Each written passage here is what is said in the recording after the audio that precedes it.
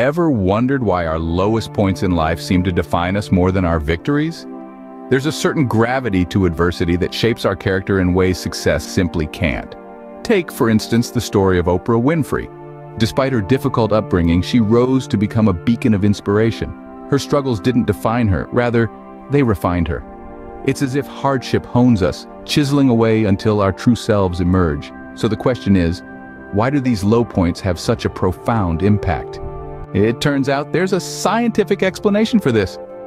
When we face adversity, our brains and bodies don't just endure it, they adapt and evolve. Studies on resilience, that's our ability to bounce back from hardship, show that navigating through life's trials can actually strengthen our mental muscle, much like physical exercise does for our bodies. Now let's take this a step further, post-traumatic growth.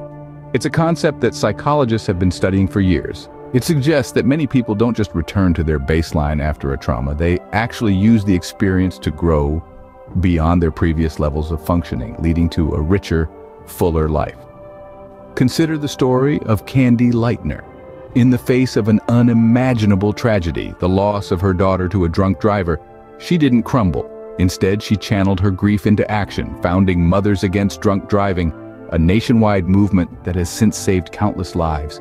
Her struggle wasn't just an obstacle, it was a catalyst. It propelled her into a new realm of purpose and impact, shaping her into a beacon of change and resilience. This is the power of struggle, the science behind our lowest points. It's more than just surviving, it's about thriving, it's about transformation. So struggle is not just a test of our spirit, but a tool for transformation. But it's not just about what happens to us, it's about how we interpret it. Picture yourself in a room with a single window, Outside the sky churns with storm clouds and the rain is relentless. But what do you see? Is it a gloomy day that's ruined your plans or an opportunity to curl up with a good book and a cup of hot chocolate? This is the power of perspective. Consider Viktor Frankl, a man who endured the unimaginable horrors of the Holocaust. He survived, not because of luck or a will to live, but because he found meaning in his suffering.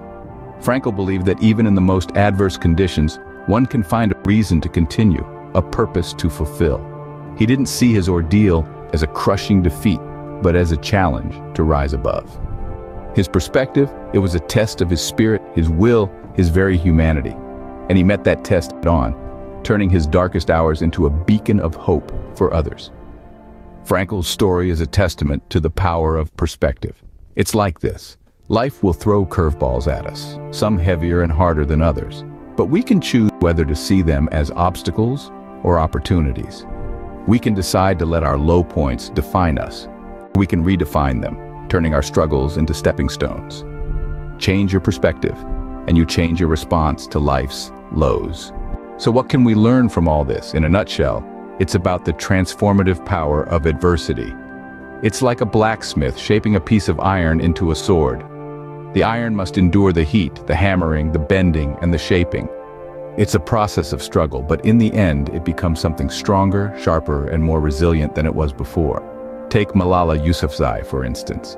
She was just a young girl when she was shot by the Taliban for advocating for girls' education. But did she let that stop her? No. She used that experience, that low point in her life, to become a stronger advocate. She didn't just survive, she thrived. And she's now an international symbol of resistance and resilience. That's the power of perspective. It's about seeing the struggle, not as a setback, but as a setup for a comeback. It's about turning the trials into triumph, the mess into a message. So the next time you're faced with adversity, remember this.